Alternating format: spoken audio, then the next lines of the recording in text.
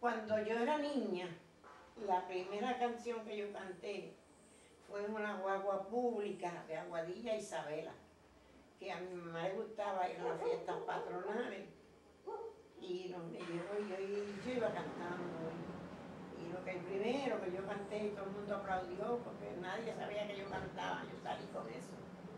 Y decía, me mandaron a buscar, yo estando con sarampión, para cantarle a los Jiménez, para cantarle a los Jiménez, sábado de tentación. Esa, esa fue la primera canción que yo canté cuando niña. Y después seguí cantando, iba para las promesas de Reyes. Ah, María, porque eso sí que me gustaban los Reyes a mí. Que, que uno decía, pusieron la mesa, pusieron la mesa, pusieron el paño, tendieron el paño, prendieron las velas para el novenario, prendieron las velas para el novenario.